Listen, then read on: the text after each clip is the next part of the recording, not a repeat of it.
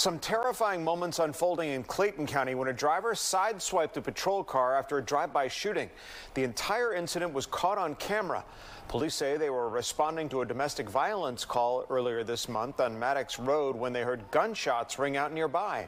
They quickly spotted a black Dodge Charger speeding out of that area. As the officers tried to perform a traffic stop, the driver slammed his vehicle into another patrol car before he was taken into custody.